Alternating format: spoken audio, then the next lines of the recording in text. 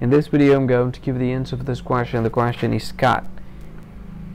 Is the national card game of what country? When I give the answer for this question and the answer for the question is Germany. Well, the answer for the question Germany. Hi, thank you so much for watching this video.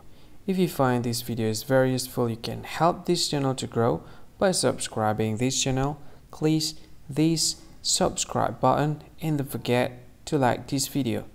And if you find this video is not really good or you don't really like this video or you kind of feel that it's a little bit offensive or something like that, you can click this one, dislike button. You can do that anyway.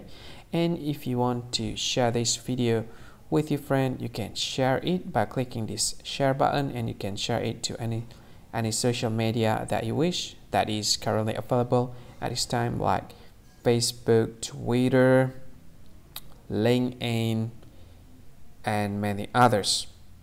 Right?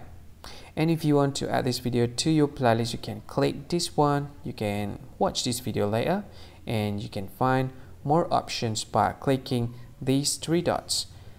And yeah, don't forget to subscribe. I think that's all of it. Thank you so much for watching this video and see you again in another video. Bye bye. See you again.